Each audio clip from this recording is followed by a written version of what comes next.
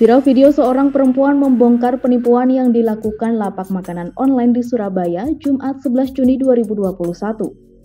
Dilansir kompas.com, produk makanan yang dijual lapak itu disebut tidak sesuai dengan gambar makanan yang dipasang di akun jual beli online. Dalam video yang diunggah akun @kdeviana Kamis 10 Juni 2021, perempuan itu juga membuka bungkus makanan yang dipesan oleh suaminya mereka memesan 5 bungkus menu pecel dengan total Rp95.200. Namun, makanan yang didapat tidak sesuai ekspektasinya. Perempuan tersebut akhirnya mengetahui alamat lapak penjual makanan dari jasa pengantar yang mengantarkan makanan itu kepadanya. Dia juga merasa kaget lantaran tempat yang didatangi ternyata bukanlah resto seperti yang disebut di dalam lapak jual beli. Dalam video tampak pula seorang pria yang diduga sebagai penjaga. Tak jauh dari lokasi pria itu terdapat beberapa ponsel. Lokasi rumah juga bukan sebuah restoran, tapi rumah biasa yang tampak seperti dapur. Perempuan yang mengaku juga memiliki lapak makanan jual beli online itu sebenarnya sudah mengetahui dari driver ojek online bahwa di daerah Dharma Husada Surabaya terdapat lapak makanan online penipu berkedok restoran.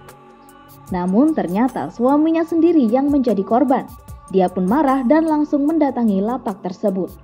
Dilansir Surya, polisi akhirnya melakukan tindakan cepat terkait viralnya video resto online tetapi hanya kedai rumahan. Kini polisi menyelidiki terkait adanya dugaan unsur penipuan dalam praktik resto online tersebut. Kasat Reskrim Polrestabes Surabaya AKBP Oki Ahadian membenarkan pada Jumat 11 Juni 2021 telah ada laporan terkait dugaan penipuan dengan modus restoran di aplikasi pesan online tersebut. Oki menyebut jika saat ini pihaknya telah menerjunkan anggota untuk melakukan penyelidikan. Sebuah video viral memperlihatkan dugaan penipuan dengan modus resto online yang dipesan melalui aplikasi online.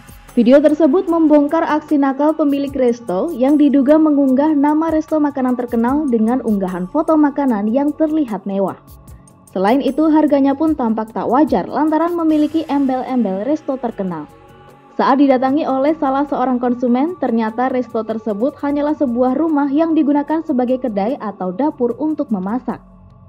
Di sana juga terlihat beberapa handphone yang diduga digunakan untuk menerima pesanan dengan berbagai nama resto di aplikasi pesan online.